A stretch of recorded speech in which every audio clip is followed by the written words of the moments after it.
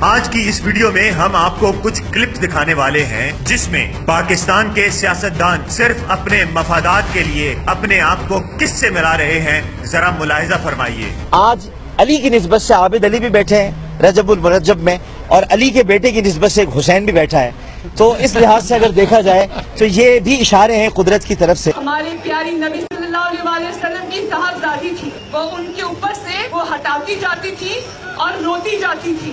پتا ہوئی نا پھر والد سچے راستے پہ تھا۔ تو نواز شریف میرا باپ ہے، وہ بھی حق کے ہمارے نبی صلی اللہ علیہ وسلم ان کو کوئی کئی مہینے وہی نہیں آئی سوچا کہ میں کوئی پاگل تو نہیں ہو رہا تھا۔ دیر کے بعد جو آیت آئی وہ بڑی امپورٹنٹ آئی تھی اور جو میں اپنے مشکل وقت میں ہمیشہ یاد رکھتا ہوں۔